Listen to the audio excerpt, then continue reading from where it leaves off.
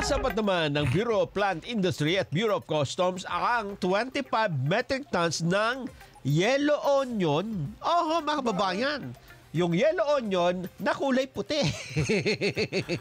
Oo nga, no? bakit dilaw ng sibuyas tapos kulay puti ang... Kulay. Kasi yung balat niyan yellow. Aman nilaw nila. Oo, pero yes. pagka hiniwa mo na, binalatan mo na, puti Oo. na. Oo. So smuggled ito. Oo, galing China yan eh. Naka po. Nagkakahalaga ng 3.5 million pesos nasa bato. Mm. Ang kontrabandong agricultural products ay natagpuan sa isang 40-foot container van sa Manila South Harbor noong pang nakaraang buwan. Sinabi ni BPI Director Gerald Glenn Panganiban na itinabi sa bakura ng BOC ang mga nakumpiskang sibuyas at ito po'y sisirain pagkatapos may sagawa ang ilang prosedur. Sayang naman. Oho. Ito ang sisirain, di ba? Pwede naman ano yun yan, tadtarin dyan, di ba? Tapos, Tapos ano, lagyan ng konting baboy. Saka itlog. Oh, bistek.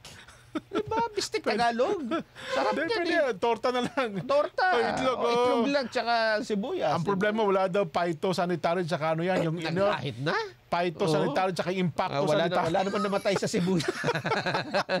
Natuklasan na ang JRA at Pearl Enterprise Incorporated ay nag-aangkat ng mga kalakal mula China Mm. noong ah, sinuspindi ng DA ang pagbibigay ng permit para sa pag-angkat ng sibuyas. Ayun. So wala ng permit, nag-angkat pa rin. Nako. Ang galing naman ito. Mhm. Ah, hiniling ng Plant Quarantine Service sa BOC na mag-issue ng warrant of seizure and detention para payagan ng inspection sa container van. Umaasa po si Panganiban na magsisilbi itong babala sa mga mangalakal at kumpanya na masusumpungan sa illegal na